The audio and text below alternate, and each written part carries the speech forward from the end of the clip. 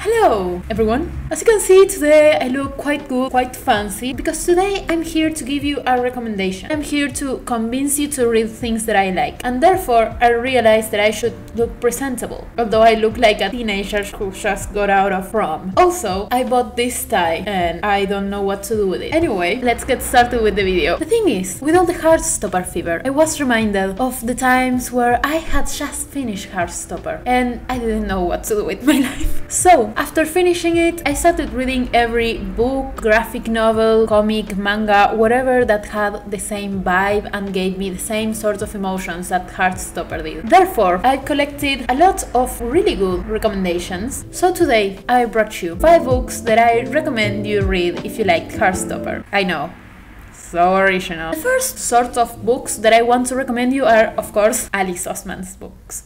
I know I've been talking about Alice Oseman books for so long. Now, if you don't know that these books exist and you just finished reading the graphic novel and you're kind of new to the whole universe, I will recommend you read these next four books because they talk about different characters in Heartstopper and I think you will like them because they're all written by the same author of Heartstopper. So, first, Solitaire. I've made a video about this, so I won't get much into it, but basically it tells the story of Tori Spring, Charlie's sister. Yeah, her struggles with life and her relationship with Charlie, her family, and so. If you think that Tori is an interesting character and you want to get to know more about her, Nick and Charlie appear more than once, and there are some things that happen in volume 4 that are explained better in this book, so if you want, I recommend you read that. The second one will be Nick and Charlie. This book was written before the graphic novels were released and it's a spin off to Solitaire. It is a really short book that narrates the story of Nick and Charlie a few years after both Solitaire and Heartstopper. So basically in this book Nick is about to leave for college, he's in his last year of high school and Charlie will stay behind one year because he's a year younger than Nick. So they're having some troubles trying to figure out how they will be long distance, if it's going to work or not and yeah that's basically like the main story of the book. I really recommend this book if you want to get to know more about Nick and Charlie's future, their lives together, the things that happen after both Volume 4 and Solitaire. I will say this is not one of my favorite books, I actually have some problems with it, but if you want me to talk about this book, I will be pleased to make a video about it, let me know. Our third book of this section will be This Winter. This is another spin-off to the books that I've mentioned. It's a really short story that narrates the events that happened the Christmas before Solitaire started and is kind of in the middle of volume 4. So yeah, this is also a really good book to get to know more about Charlie's relationship relationship with his family, with Nick, what has been going on. It's really short. I think you can finish it in less than one day. So it's an interesting book to get to know more about this story. And last but not least,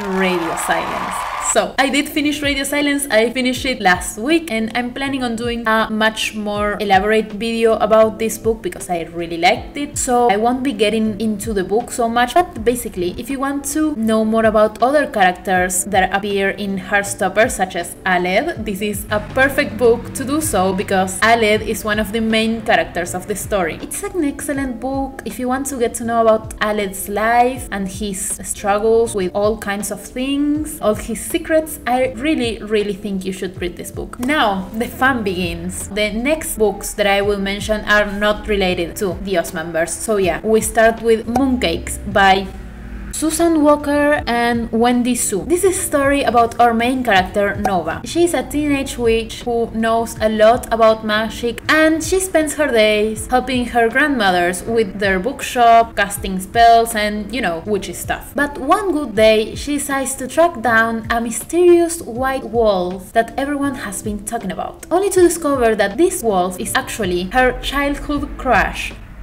Tam Lang, who, by the way, is non-binary Throughout the book, we will get to know more about Tam's past, why they left their hometown. They and Nova will try to find a way to defeat this horse demon, as well as figuring out their feelings for each other after all the years they spent apart. This is a beautiful graphic novel. The art was amazing. I really liked it. You have magic, witches, werewolves, non-binary representation, LGBTQ plus relationship, teenage romance, mystery. It's extremely short and extremely entertaining What else can you ask for? And yeah, it's not a very complicated story, it's beautiful, short, and extremely cute. So if you liked Heartstopper, you will definitely like this one. My next recommendation, and this time I actually have the book, is Red, White, and Royal Blue by Casey Mc Mackinston? And yeah, I've already mentioned a cute bubbly story, now I'm doing something a bit more complicated. I really like this book, it's actually one of my favorites and it's one of the books that actually got me into reading because I wasn't a reading person before. So basically, we have our main character, Alex, who is the first son of the United States and Henry, the Prince of Wales. What? Gay romance? Yes. So basically, these two hate each other. They can't stand one another. But after a very convenient and unfortunate turn of events. They are forced to spend some time together and they realize that they actually have no reason to hate each other. They share some interests, they have some things in common. This might be good. That's how they start talking and text here, phone call there. Boom, they start liking each other. And well, things get a bit more complicated because with Alex's re-election campaign and Henry's homophobic family, they owe to keep their relationship a secret. And yeah, that's pretty much the story. I I won't spoil you anything else. So, we have LGBTQ plus representation, enemies to lovers, a cliche story, but it's a really good one, a true and beautiful love story. And yeah, I know this was like a TikTok sensation for a long time, and some people love it, some people hate it. I personally love it, that's why I bought it. My next book recommendation for you will be What If It's Us by Becky Albertalli and Adam Silvera. I'm not really good at pronunciation. I think you figured that out already. Are you looking for a really funny book? And I'm talking about Laughing Out Loud with a strangers to lovers story. Easy to read, not so dramatic. This is the book for you. And I was lying with the not so dramatic. So, this is a story about Arthur, who is one of our main characters. This book is narrated by two people. Arthur is in New York for the summer. He's working for his mom, a summer show to put in his university application. And yeah, his life seemed to be pretty normal. He seems to be enjoying his summer in New York until one day, one